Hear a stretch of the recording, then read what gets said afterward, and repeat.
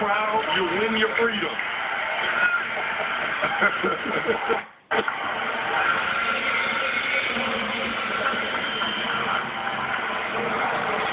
I love it. Tell you what, that kid has a great body. Didn't you say your body looked like that when it was 22, 23? It is. Are you Where? kidding me?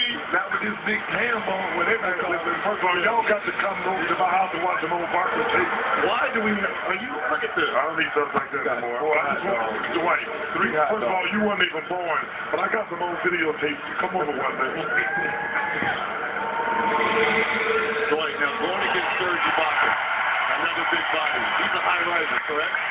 Uh, well, he, he has long bars. Right. Uh, he's athletic, and um, he can move his feet pretty well. And I like him. I want to see what he got. Free throw. He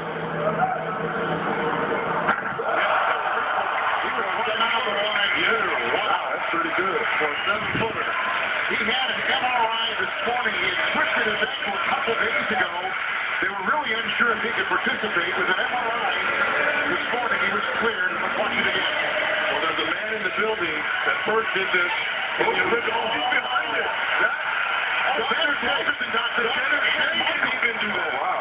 Nor Michael Jordan. That is right behind the free throw line. I don't think, I think they were on the line or beyond it when Dr. J. go back and look at the video. See the Sturge, I sit on this. Something is wrong. Don't hate, Doc. Dr. J just gave a tip. You have to. This is a seven footer. What else? He only got 45 points though.